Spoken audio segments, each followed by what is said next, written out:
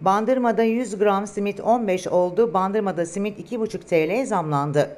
Esnaf ve Sanatkarlar Odası Birliği Yönetim Kurulu 30 Ekim 2024 tarihinde aldığı kararla başlayan zamlı 100 gramlık simit 15 TL'den satılmaya başlandı. Simit fiyatları son dönemde önemli bir artış gösterdi. 100 gramlık simit daha önce 12,5 TL'den satılırken yeni fiyatıyla 15 TL'ye yükseldi. Bu fiyat artışı özellikle susam, un ve enerji maliyetlerindeki artışlar simit üreticilerinin ve satıcılarının maliyetlerini önemli ölçüde arttırmış durumda.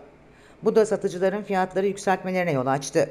Simit satıcıları zam kararını artan susam, un ve enerji maliyetlerine bağladı. Satıcılar yükselen girdi maliyetleri karşısında kar piyasasının daraldığını ve fiyat artışının işletmelerin sürdürülebilirliği için kaçınılmaz bir adım olduğunu belirtti. Simit fiyatlarındaki artış bandırmalı vatandaşlar arasında çeşitli tartışmalara yol açtı. Özellikle kahvaltı ve ara öğünlerde sıklıkla tercih edilen simitin fiyatının yükselmesi bazı vatandaşların günlük gıda harcamalarını arttırdığı yönündeki endişelerini gündeme getirdi.